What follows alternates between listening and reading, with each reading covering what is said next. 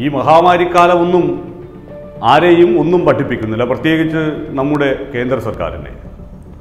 അവരിപ്പോഴും ആ ധാർഷ്ട്യത്തിന്റെ രീതിയിൽ തന്നെ മുന്നോട്ട് പോവുകയാണ്.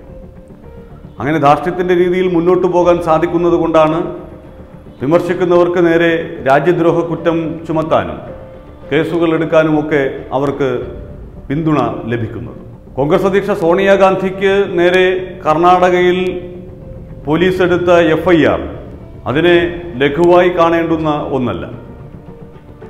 കഴിഞ്ഞ ദിവസം യോഗി ആദിത്യനാഥിനെ വിമർശിച്ചതിന് ഹരിയാനയിലെ കോൺഗ്രസ് നേതാവിനെതിരെ രാജ്യദ്രോഹ കുറ്റം ചുമത്തിയ വാർത്ത വന്നതിന് പിന്നാലെയാണ് കർണാടകയിൽ നിന്ന് സോണിയാഗാന്ധിക്കെതിരെ പി എം കെയറിനെ വിമർശിച്ചതിന് എഫ് ഐ ആർ ഇട്ടു എന്നുള്ള വാർത്ത കൂടി കേൾക്കേണ്ടി വരുന്നത്.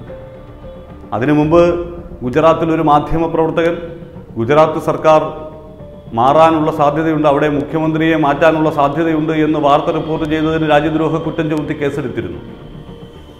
അങ്ങനെ നിരന്തരമായി രാജ്യദ്രോഹ കുറ്റമെന്നാൽ എന്ത് എന്നുള്ള സംശയം ഉളവാക്കുന്ന രീതിയിൽ ബി ജെ പിയെയോ ബി ജെ പി അനുകൂല സർക്കാരുകളെയോ വിമർശിച്ചാൽ അതൊക്കെ രാജ്യദ്രോഹ കുറ്റമാകുമെന്നുള്ള തരത്തിൽ നിരന്തരം കേസുകൾ ഉണ്ടായിക്കൊണ്ടിരിക്കുന്ന പശ്ചാത്തലം ഉണ്ടാകുമ്പോൾ എങ്ങോട്ടാണ് പോക്ക് എന്നുള്ള ചോദ്യം ഉയരുക തന്നെ ചെയ്യും. കർണാടകയിൽ പി എം കെയറിനെ വിമർശിച്ചു. പി എം കെയറിന്റെ ഫണ്ട് അത് ഓഡിറ്റിങ്ങിന് വിധേയമാക്കേണ്ട ഒന്നാണ്. അതിനകത്ത് തട്ടിപ്പ് നടക്കാനുള്ള സാധ്യതയുണ്ട്. അതൊരു സുതാര്യമായ സംവിധാനമല്ല എന്ന് കോൺഗ്രസ് അധ്യക്ഷ വിമർശനം ഉന്നയിച്ചിരുന്നു. അതിലെന്താണ് ഇത്ര തെറ്റ്? അതങ്ങനെ തന്നെയാണ്. പ്രധാനമന്ത്രിയുടെ ദുരിതാശ്വാസ ഫണ്ട് ഇവിടെ നിലനിൽക്കുമ്പോൾ. ആ ദുരിതാശ്വാസ ഫണ്ടിൽ നിന്നാണ് നേരത്തെ പ്രളയവും കൊടുങ്കാറ്റും പേമാരിയും ഒക്കെ വന്നപ്പോൾ ആളുകൾക്ക് സഹായം നൽകിയത് സംസ്ഥാനങ്ങൾക്ക് സഹായം നൽകിയത്. ആ ഒരു ഫണ്ട് അവിടെ നിൽക്കുന്നുണ്ട്. അതിലേക്ക് ധാരാളം ഇപ്പോഴും ആളുകൾ സംഭാവന നൽകുന്നുണ്ട്. അതിനിടയിൽ ഈ മഹാമാരി വന്നപ്പോൾ അതിനുവേണ്ടി പി എം കെയേഴ്സ് എന്നുള്ള ഒരു ഫണ്ട് രൂപീകരിക്കേണ്ട കാര്യം എന്തായിരുന്നു? അതൊരു ട്രസ്റ്റായിട്ടാണ് രൂപീകരിച്ചിരിക്കുന്നത്.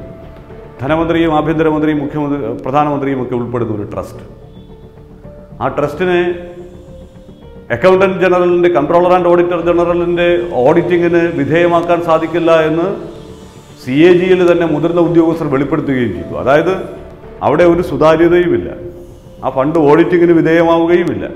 എങ്ങനെ ചെലവഴിക്കുന്നു എന്നുള്ളതിനെക്കുറിച്ചോ ഏത് രീതിയിലൊക്കെ ചെലവഴിക്കാം എന്നുള്ളതിനെക്കുറിച്ചോ പ്രത്യേകിച്ച് മാനദണ്ഡങ്ങളുമില്ല.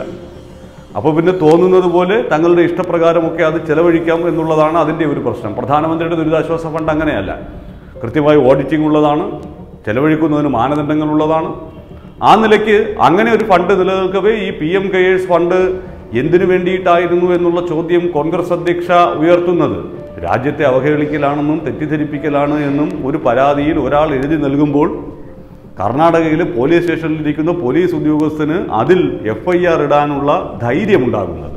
ഇത്തരത്തിൽ രാജ്യവ്യാപകമായി ബി ജെ പിയെ വിമർശിക്കുന്ന പ്രധാനമന്ത്രിയെ വിമർശിക്കുന്ന മുഖ്യമന്ത്രി ബി ജെ പി മുഖ്യമന്ത്രിമാരെ വിമർശിക്കുന്ന ആളുകൾക്കെതിരെ കേസുകൾ രജിസ്റ്റർ ചെയ്യപ്പെടുന്നത് കൊണ്ടാണ് അവർക്കെതിരെ രാജ്യദ്രോഹ കുറ്റം ചുമത്തപ്പെടുന്നത് കൊണ്ടാണ്. അതാണ് ശരി എന്നുള്ള തരത്തിൽ നമ്മുടെ പ്രധാനമന്ത്രിയും ആഭ്യന്തരമന്ത്രിയും ഒക്കെ അർത്ഥപൂർണമായ മൗനം തുടരുന്നത് കൊണ്ടാണ്. ശരിക്കു പറഞ്ഞാൽ തോന്നിയാസമാണ്. വിമർശനങ്ങൾ പാടില്ല എന്ന നിലയിലേക്ക് ഈ രാജ്യത്തെ കൊണ്ടുചെന്നെത്തിക്കുകയാണ്. അന്താരാഷ്ട്ര സമൂഹം നമ്മുടെ രാജ്യത്തെ നോക്കി കൊഞ്ഞനം കുത്തിക്കൊണ്ടിരിക്കുന്ന സമയമാണ്. ഇവിടെ മഹാമാരിയെ പിടിച്ചു കെട്ടി നമ്മൾ കേവന്മാരായിരിക്കുന്നു എന്നൊക്കെ സോഷ്യൽ മീഡിയയിൽ കൂടി നടത്തുന്ന തള്ളലുകളല്ല.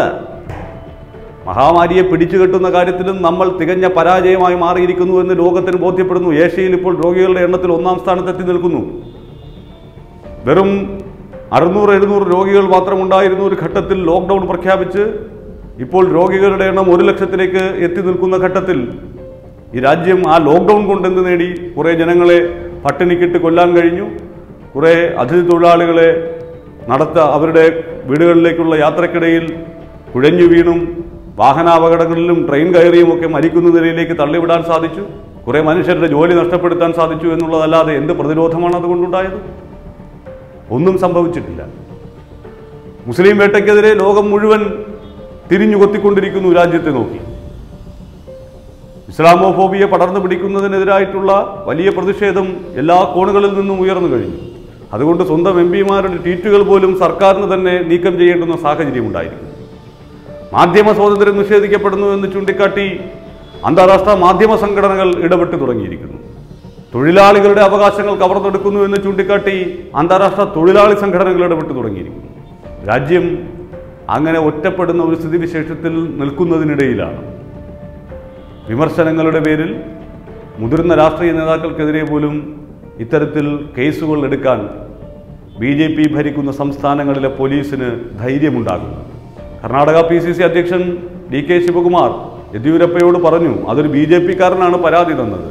ആ എഫ് ഐ ആർ നിങ്ങളുടെ മാനം കെടുത്തുന്നതാണ്. ആ എഫ് ഐ ആർ പിൻവലിക്കണം എന്ന്. ഇതുവരെയും പിൻവലിക്കാൻ തീരു തയ്യാറായിട്ടില്ല. പക്ഷേ ആ എഫ് ഐ ആർ ഇട്ടത് ഒരു വലിയ ദുസ്സൂചനയാണ്. ഈ നാട് നേരെ പോകില്ല ഈ ഭരണത്തിന് കീഴിൽ എന്നുള്ള സൂചന.